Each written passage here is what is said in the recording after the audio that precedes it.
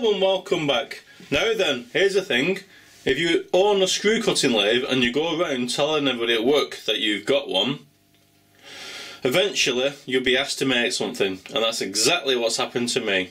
An old dude at work called Brian wants me to make him an exhaust retaining bolt for a Mountfield mower. And at the time I thought, yeah, yeah, not a problem. Go home, get the old tapping die set out, be a metric, easy peasy, got a full set of metrics, looks like an M6 about, I'll crack on. So I get some, and it turns out it's not an M6, it's nowhere near, so I thought it might be a BA. And I don't mean BA Baracus, I ain't getting no plane fool, no it's not even a BA. So, that's your metric, that's your BA Baracus, and this is what I've got to make. Nowhere near. So really coarse thread. So a bit of edge scratching, and a bit, a bit of looking on Tinternet, and it's suspiciously like a Whitworth, which is fine, except the only die I've got for Whitworth, come back, see it's troublesome already, the only die I've got for Whitworth is this old Warrior, which is a 5 16 which is fine, unfortunately though, it's a bit slackingtons, I need a quarter, and I'm not going and buying myself a quarter die because about five pound plus postage on eBay if you just want the one. So without further ado, I'm gonna have to make one on the screw cutting lathe. But you have to bear with me a bit because it's ages since I've even done it, even dreamt to do anything like that. But let's have a look. Hey! We're back on the lathe. It's been about 10 months. And to be quite honest, my machining skills are slightly rusty, so you'll have to bear with me to figure out what all these levers are for. But first jobs first, we have to reduce this bar stock for the parts I'm making. I'll just do a couple of roughing passes.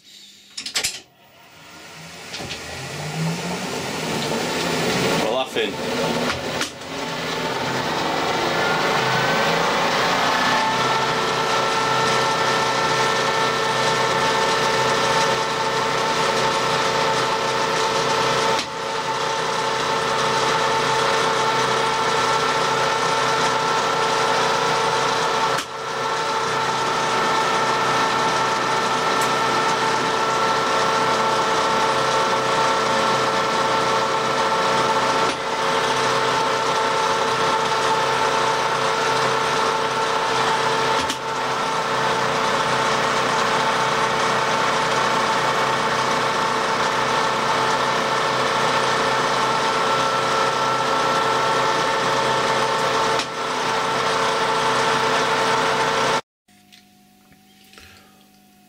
Camera, I've roughly reduced it down to the correct diameter, slightly larger, a couple of thousandths, because you will lose that when you're doing the screw cutting action. And also, it's a little bit longer, that's what the guy wants, he wants a longer thread. Okay, that bit's ready. I need to know what I'm setting up on the screw cutting gearbox. Does the offending doofer. I've got this very small moustache comb, oh, no, I was only kidding, it's a thread checking gauge. And it's telling me it's 20 threads per inch. So now I need to set that up on the screw cutting gearbox. Let's have a look where 20 is. Hmm. Oh yeah, I see it. She's there. And it's telling me I need to set up levers D and A. And it says it's C and A moment, which used to be an old shop back in the day. So D and A make sure it's in. That seems to be it. So that's that set. Uh, what else do we need? Oh yeah, I need to move that offending lever at the bottom. What's a 20? It's a bit crusty, doesn't get used that often.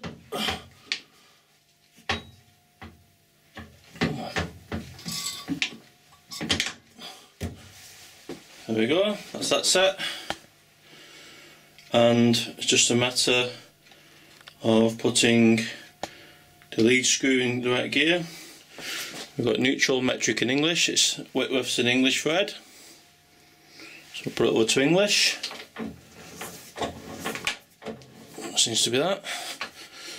Not convinced about that, but it doesn't seem right. Okay, that's that. Now move over to these top levers.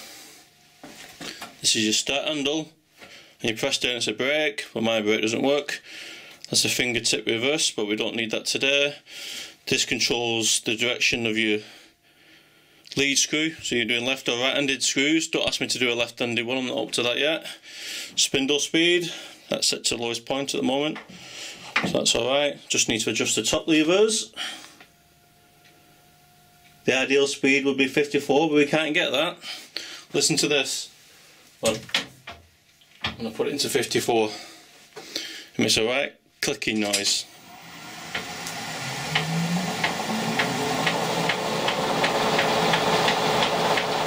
Can you hear that? Something definitely going on in there.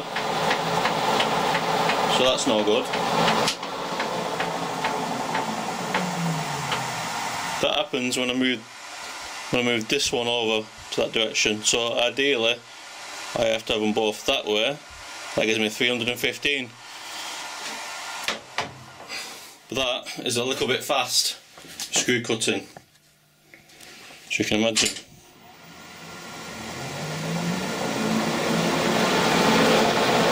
Yeah that's too fast. Luckily I can turn my inverter down. Exactly what I'm going to do.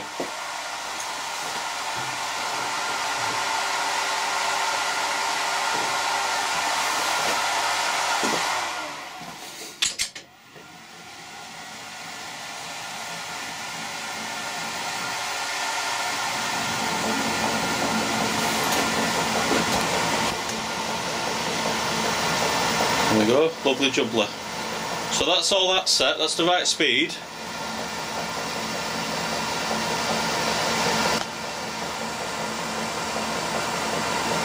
Just a matter of setting up, setting up the compound slide.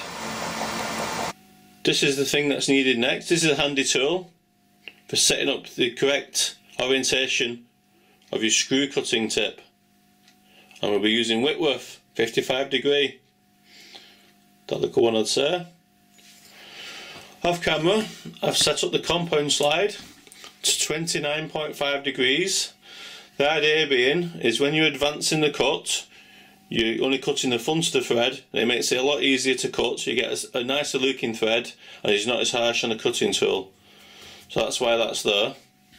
Interestingly enough, on the original video, screw cutting video, I did a metric thread and that's selected on metric.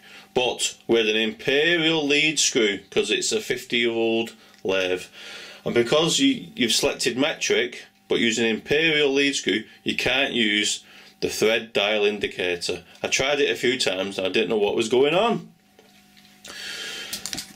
As you can see on the thread dial indicator you got numbers. So you'd wait for number two to come round and then you'd engage that there the half nuts, everything fine, then you disengage, back off, wait for it to come round, or the alternative number four. Well, I'll just say for, for argument's sake, you wait for number two to come round again, you then engage, and bugging me, because there's a mismatch in the gearing, it had cut the thread in a different place. It didn't matter that you got it banged onto, it wouldn't cut right. So that was disappointing, and it took me a while to figure out what to do. So I ended up doing something else. I had to permanently leave the half nuts on and run the lathe backwards and forwards using the fingertip reverse, which is fine. That worked out great for the metric thread. But for this one, it's a Whitworth and it's an English thread. I'm going to use the thread dial indicator. Ooh! anyway, first things first, I need to set up the tip to the correct orientation.